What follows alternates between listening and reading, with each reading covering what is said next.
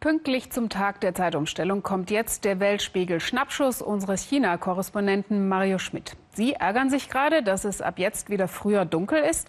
Die Chinesen sagen, Licht wird völlig überschätzt. Finstere Gestalten bewegen sich auf Pekings Straßen. Man sieht sie überall, doch manchmal etwas spät. Und es sind viele. In Peking ist das Fahrradfahren wieder populär geworden. Aber warum fahren fast alle ohne Licht? Die ersten Antworten klingen einleuchtend. Ich sehe keine Notwendigkeit. Es ist doch hell genug. Wenn die Straßen schlecht sind, nehme ich ohnehin den Bus. Ich lasse mein Licht aus, sonst störe ich vielleicht die anderen. Die haben ja auch keins an. Furchtlos sogar als Geisterfahrer. Peking hat zwar viele Lichter, aber längst nicht überall. Auch das kein Problem. Wenn es zu dunkel ist, bedeutet das, da sind nicht viele Leute oder Autos. Deshalb ist das nicht besorgniserregend.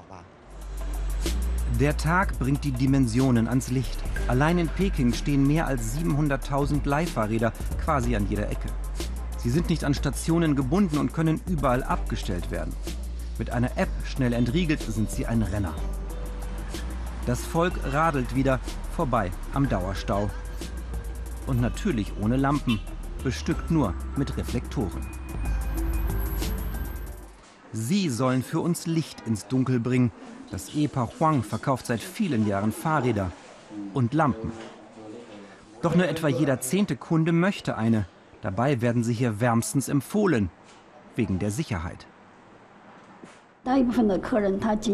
Die große Mehrheit unserer Kunden braucht das Fahrrad für den Weg zur Arbeit. Sie nutzen es nicht für lange Strecken. Sie halten Lampen daher in Peking nicht für notwendig, auch weil sie in der Regel nicht entlang abgelegener und dunkler Straßen fahren. So erkläre ich es mir. Weder Bußgeld noch Ermahnung drohen beim Fahren ohne Licht. Die Kommunistische Partei gewährt ihren Bürgern größtmögliche Freiheiten auf zwei Rädern.